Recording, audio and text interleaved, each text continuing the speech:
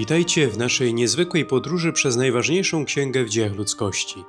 Nazywam się ksiądz Przemysław Krakowczyk, a to jest 226 odcinek naszego codziennego podcastu Biblia w rok. Na początku naszego spotkania pomódlmy się słowami Psalmu 136, wersety od pierwszego do dziewiątego. Alleluja. Chwalcie Pana, bo jest dobry, bo Jego łaska na wieki. Chwalcie Boga nad bogami, bo Jego łaska na wieki.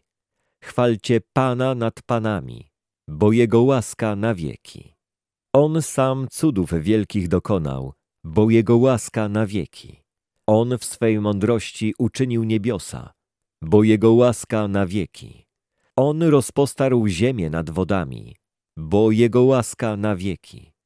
On uczynił wielkie światła, bo Jego łaska na wieki. Słońce by dniem władało, bo Jego łaska na wieki. Księżyc i gwiazdy by władały nocą, bo Jego łaska na wieki.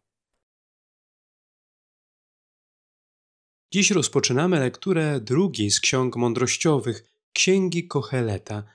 W rozdziałach pierwszym i drugim Kochelet rozważa przemijalność ludzkich starań i osiągnięć, ukazując je jako marność i gonitwę za wiatrem. Zwraca uwagę, że poszczególne przyjemności, bogactwa i mądrość kończą się rozczarowaniem, a prawdziwe znaczenie można znaleźć jedynie w bojaźni przed Bogiem. Słowa Kocheleta, syna Dawida, króla w Jeruzalem. Marność nad marnościami, powiada Kochelet. Marność nad marnościami. Wszystko jest marnością. Cóż przyjdzie człowiekowi z całego trudu, jaki zadaje sobie pod słońcem? Pokolenie przychodzi i pokolenie odchodzi, a ziemia trwa po wszystkie czasy. Słońce wschodzi i zachodzi i na miejsce swoje śpieszy z powrotem i znowu tam wschodzi. Ku południowi ciągnąc i ku północy zawracając, kolistą drogą wieje wiatr i znowu wraca na drogę swojego krążenia. Wszystkie rzeki płyną do morza, a morze wcale nie wzbiera. Do miejsca, do którego rzeki płyną, zdążają one bezustannie. Każde mówienie jest wysiłkiem, nie zdoła człowiek wyrazić wszystkiego słowami. Nie nasyci się oko patrzeniem, ani ucho napełni słuchaniem. To, co było, jest tym, co będzie, a to, co się stało, jest tym, co znowu się stanie, więc nic zgoła nowego nie ma pod słońcem. Jeśli jest coś, o czym by się rzekło, patrz, to coś nowego, to przecież istniało to już w czasach, które były przed nami. Nie ma pamięci o tych, co żyli dawniej, ani też o tych, co będą kiedyś żyli. Nie pozostanie wspomnienie u tych, co będą potem. Ja, Kochelet, byłem królem nad Izraelem w Jeruzalem i skierowałem umysł swój ku temu, by zastanawiać się i badać, ile mądrości jest we wszystkim, co dzieje się pod niebem. To przykre zajęcie dał Bóg synom ludzkim, by się nim trudzili. Widziałem wszelkie sprawy, jakie się dzieją pod słońcem.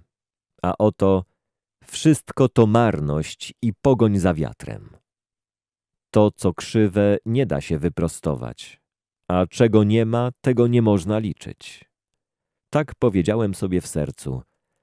Oto nagromadziłem i przysporzyłem mądrości więcej niż wszyscy, co władali przede mną nad Jeruzalem, a serce me doświadczyło wiele mądrości i wiedzy.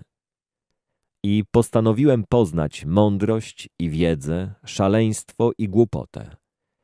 Poznałem, że również i to jest pogonią za wiatrem, bo w wielkiej mądrości wiele utrapienia, a kto pomnaża wiedzę, pomnaża cierpienie.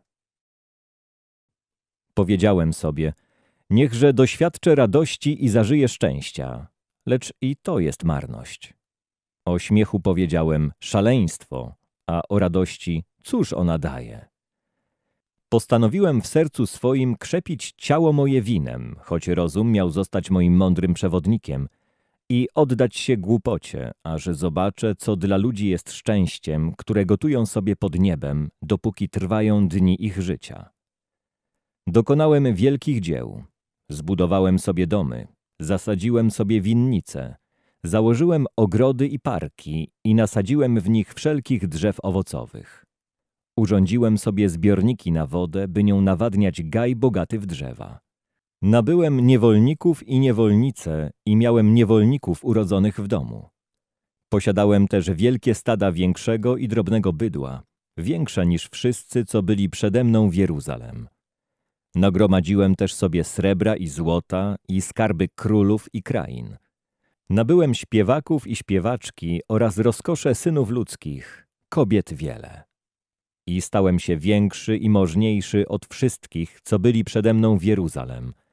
W dodatku mądrość moja mi została. Niczego też, czego oczy moje pragnęły, nie odmawiałem im. Nie wzbraniałem sercu memu żadnej radości, bo serce moje miało radość z wszelkiego mego trudu, a to mi było zapłatą za wszelki mój trud. I przyjrzałem się wszystkim dziełom, jakich dokonały moje ręce i trudowi, jaki sobie przy tym zadałem. A oto wszystko to marność i pogoń za wiatrem. Z niczego nie ma pożytku pod słońcem.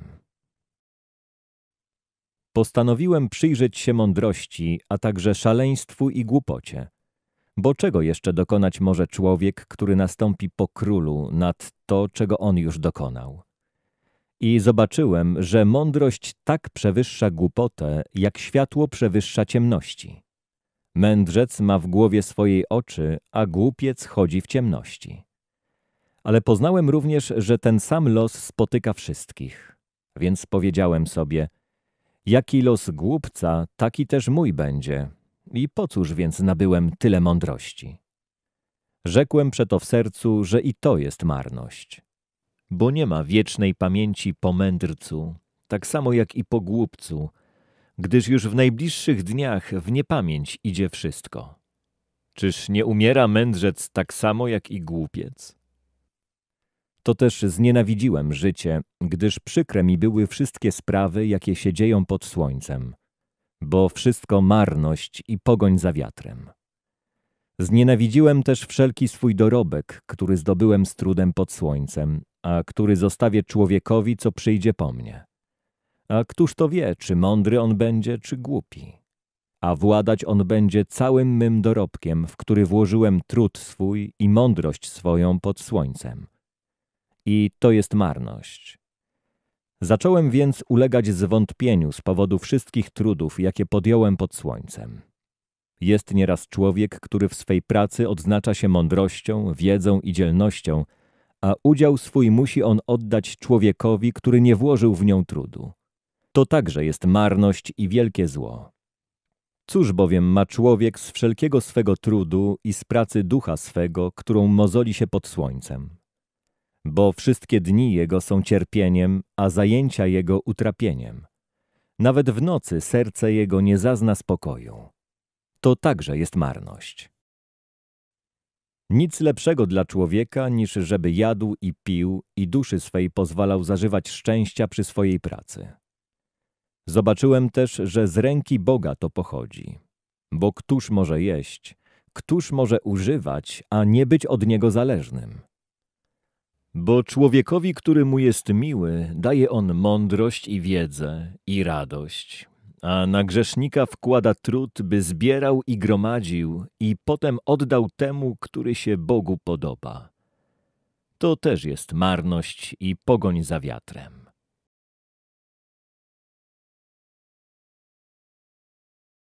Ewangelia według świętego Łukasza, rozdział 14, opisuje nauki Jezusa na temat pokory, gościnności i kosztów prawdziwego uczniostwa.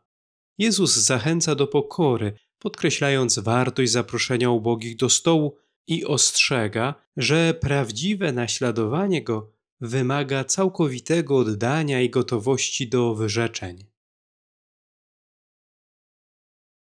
Gdy Jezus przyszedł do domu pewnego przywódcy faryzeuszów, aby w szabat spożyć posiłek, oni go śledzili.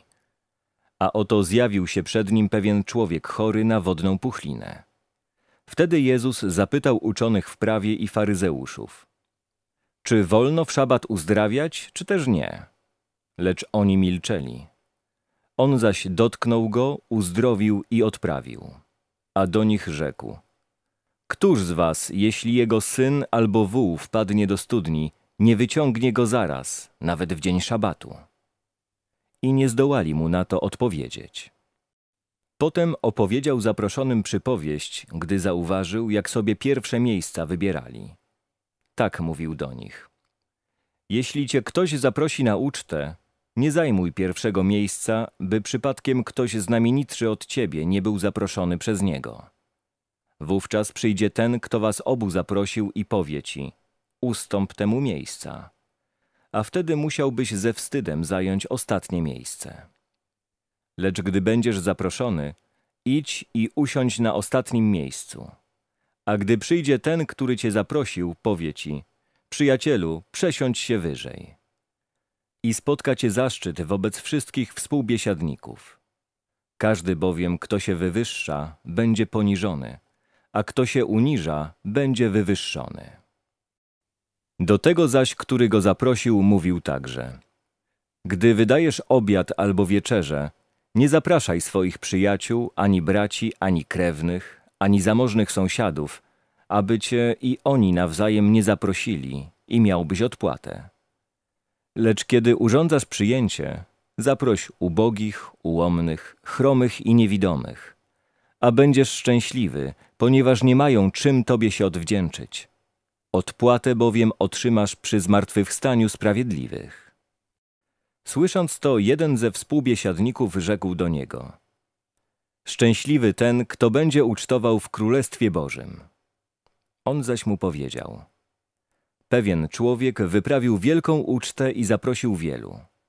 Kiedy nadeszła pora uczty, posłał swego sługę, by powiedział zaproszonym: Przyjdźcie, bo już wszystko jest gotowe.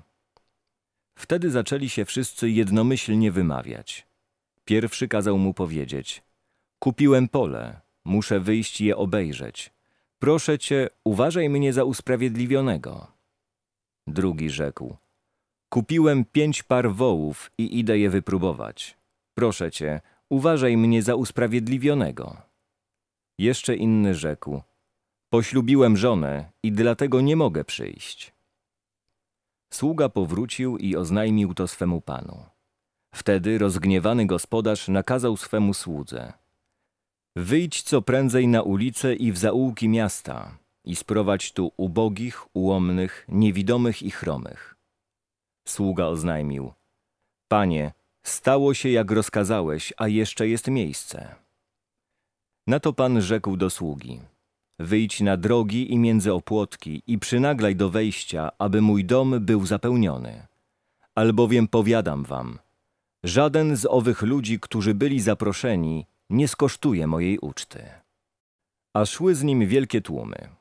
On odwrócił się i rzekł do nich: Jeśli ktoś przychodzi do mnie, a nie ma w nienawiści swego ojca i matki, żony i dzieci, braci i sióstr, nadto i siebie samego, nie może być moim uczniem.